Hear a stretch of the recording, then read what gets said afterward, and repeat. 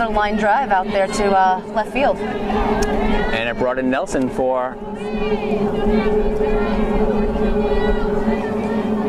I'd say the 13th run of the game for the Seahawks. Simpson has really had a great day.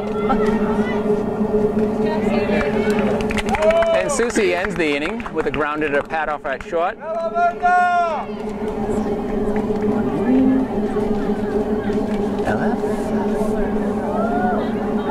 We'll wrap this inning up in a second.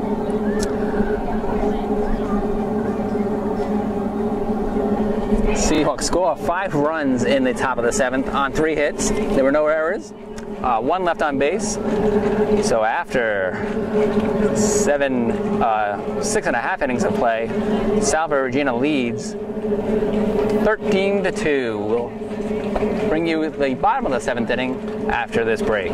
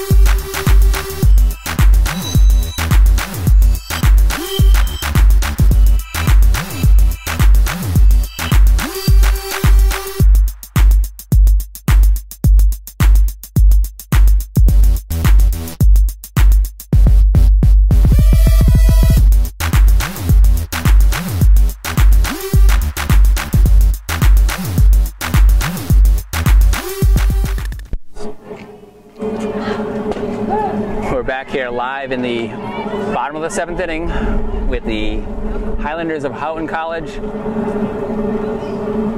Perhaps in their last at bat, unless they have a huge inning against Nicole Parry. But Nicole Parry has done outstanding. She uh, fielded the first at bat of the frame and got the first out, throwing it over to Lauren Fountain. So one out here in the bottom of the seventh. What I liked about Perry again is struggled a little bit at that last inning, but quickly regained her composure, came out and came out just like she started the first inning. Strong, focused, and uh, it's nice to see that.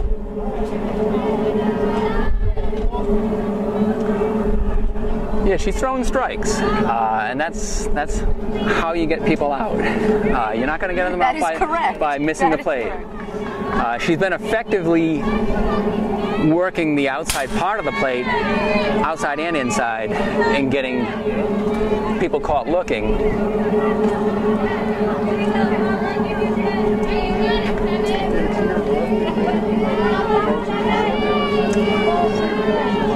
One ball, two strikes on the uh, Actually, we have a pinch hitter here for the Highlanders.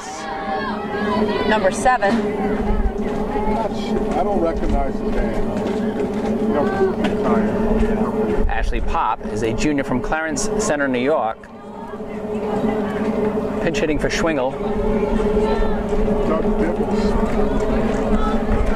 If I was Perry, I would go for that low outside pitch that he's been calling all day.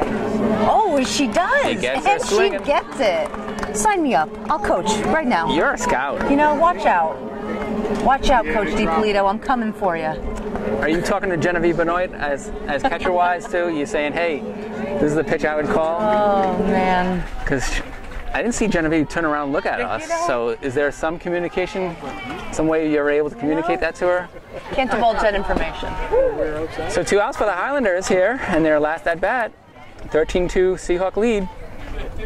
And that pitch really has been working for Perry. So I wouldn't be surprised if you see it again at this batter. There it is. And she's working them away, and she gets the call. And if he's going to call it, she's going to throw it.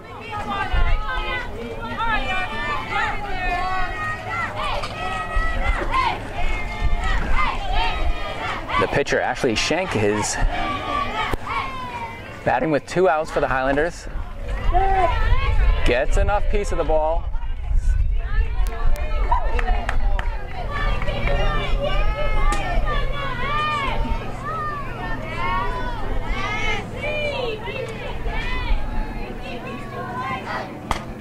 Getting some feedback through Twitter that uh, we're hilarious talking. I don't know if that's a good or bad thing. But uh, Are we hilarious is- talking or hilarious sounding? Yes, please clarify. Well, as long as they enjoy the broadcast and we can bring them some information, That's it. that ball's put in play to Parry. She finishes the game with a toss out to Fountain at first. So the final score is 13-2 Salve Regina. The players will exchange handshakes in front of our, our camera, and we'll take a break audio-wise. We'll give you that video, but we'll take a break audio-wise and then come back to wrap up this game.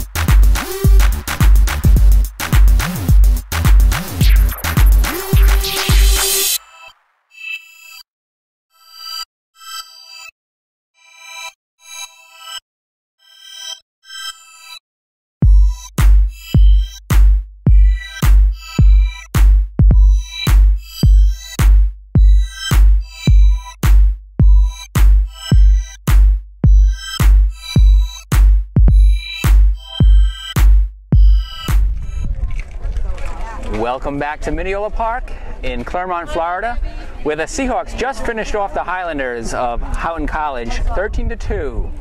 Winning pitcher for Salve Regina was Nicole Parry, sophomore, getting the start starting nod in game one of the 2014 season for Salve Regina. Uh, Parry's record is is 1 0, not 13 to 2, as it shows there on the on the graphic. Um, but she was outstanding at the uh, uh, in the pitcher circle. Kelly Scaparello. Yeah, I mean, I, I got to tell you, the composure she had, the uh, take it to the batter. I mean, she was just really consistent and laser focused throughout the entire game. And there was one inning where I think it was the sixth inning where she faltered a little bit, had a lot of batters, you know, take some swings, full counts, but she came back in that final inning, laser focused, composed, and uh, I think it's a very bright future for Nicole Perry. Yeah, it, the, the present was excellent. Uh, she, worked the plate very effectively. Uh, the Highlander batters got the bat on the ball in that sixth inning, uh, but uh, other than that, she had them missing in the six other frames uh, that she threw. And you got to give credit to, to Genevieve Benoit as well as the catcher who's who framed the pitching. You know, I mean, she called that game and she called a great game. You know, and I think you really start to see that there is a good chemistry there, and if you have a good chemistry at pitcher and catcher, you're going to succeed out there. And you're seeing that in the first game. Yep. We'll get to see uh, their classmate Dominique Burnham in game two, but uh, let's uh, finish off game one today. Salve Regina versus Houghton. It was uh, Seahawks 13, Highlanders 2. At the plate for the Seahawks, uh, plenty of offense. They scored two runs in the third inning, two runs in the fifth, uh, four in the sixth, and five in the seventh uh, to really put this game away. Uh, three of the Seahawks had three hits apiece. That was Jenna Adine and Genevieve Benoit with three hits.